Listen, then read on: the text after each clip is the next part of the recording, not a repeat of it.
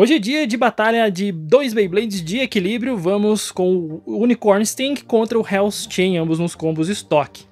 O Hell's Chain tem uma estabilidade também que não é de se jogar fora não, hein? Ele consegue um padrão bem interessante, falei? Olha aí que bonito. O Unicorn Sting vai para contra-ataque e leva mais uma pancada forte do oponente, mas ainda tem a estabilidade bizarra do Unicorn Sting que poderia ter vencido, mas não venceu. O primeiro ponto é do Hell's Chain, tá 1 a 0. Eu falei que a estabilidade do Hell's Chain não era de se jogar fora. Boa investida. Consegue um ataque bom. Não é por Extreme Dash. Olha, desviou do Extreme Dash do Unicorn Sting. O Unicorn Sting volta pro centro da arena, mas é desestabilizado, hein? Ele é jogado pra Extreme Line pra ter um contra-ataque, mas perde muita resistência aí nesse processo. Mas ele tem uma estabilidade bizarra e empata o jogo, 1 a 1. Vamos ver se vai rolar o desempate aqui. E como vai ser, né? Uh! Hellstein avança muito pela Extreme Line, dá um Extreme Dash bonito.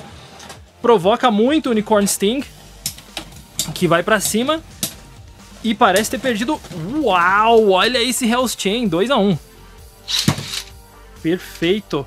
Que performance interessante do Hellstein. Extreme Dash muito bom. O Unicorn Sting ali se viu em problemas, nossa senhora. Foi jogado por cima da Extreme Line. Hellstein tem um pouco mais de rotação, mas calma, a gente tem a estabilidade do Unicorn Sting que existe, que é problemática, a gente sabe muito bem disso. E é ela que vence.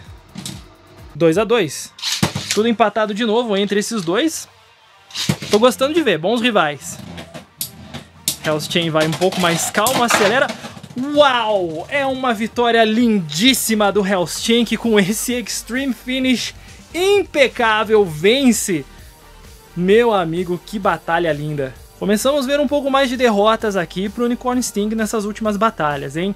Eu espero que você tenha curtido, não esquece de deixar um gostei e se inscrever no canal para vídeos todos os dias. A gente se vê numa próxima. Até lá!